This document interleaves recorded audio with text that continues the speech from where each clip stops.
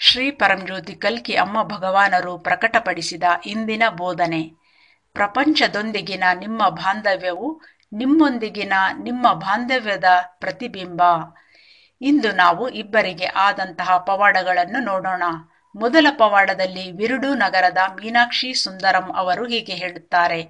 ಆಲಯ ದರ್ಶನದ ಸಮಯದಲ್ಲಿ ನನ್ನ ಕೆಲಸಕ್ಕೆ ಸಂಬಂಧಿತ ಸಮಸ್ಯೆಗಳಿಗಾಗಿ ನಾನು ಪ್ರಾರ್ಥಿಸಿದೆ.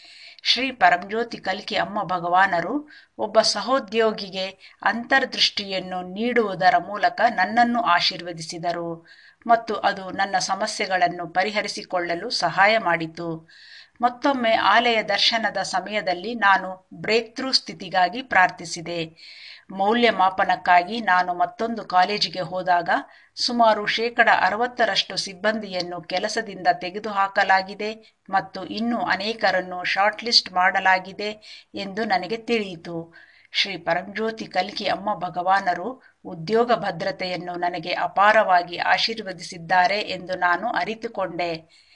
ನನ್ನ ವೃತ್ತಿಯಲ್ಲಿರುವ ಅನೇಕರು ತಮ್ಮ ಉದ್ಯೋಗದಲ್ಲಿ ಅಸುರಕ್ಷಿತರಾಗಿದ್ದಾರೆ ಮತ್ತು ಅವರ ಸಂಬಳದ ಶೇಕಡ ನಲವತ್ತು ಅಥವಾ ಐವತ್ತರಷ್ಟು ಪಡೆಯುತ್ತಿದ್ದರೆ ನನ್ನ ಶ್ರೀ ಪರಂಜ್ಯೋತಿ ಕಲ್ಕಿ ಅಮ್ಮ ಭಗವಾನರು ಪ್ರತಿ ಕ್ಷಣವೂ ನಮ್ಮ ಕುಟುಂಬವನ್ನು ರಕ್ಷಿಸುತ್ತಿದ್ದಾರೆ.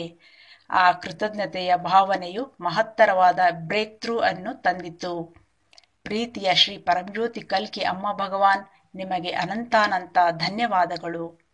ಈಗ ಎರಡನೆಯ ಪವಾಡದಲ್ಲಿ ಮಧುರೈನ ಅಲುಮೇಲು ಆಚಿಯವರು ಹೀಗೆ ಹೇಳುತ್ತಾರೆ.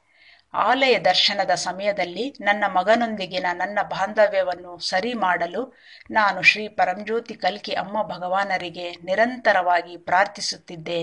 ಅವರ ದೈವಿಕ ಅನುಗ್ರಹದಿಂದ ನಮ್ಮ ಬಾಂಧವ್ಯವು ಈಗ ಉತ್ತಮವಾಗಿದೆ. ಅಷ್ಟೇ ಅಲ್ಲದೆ ನಮ್ಮ ಇಡೀ ಕುಟುಂಬದ ಬಾಂಧವ್ಯವೂ ಸಾಕಷ್ಟು ಸುಧಾರಿಸಿದೆ.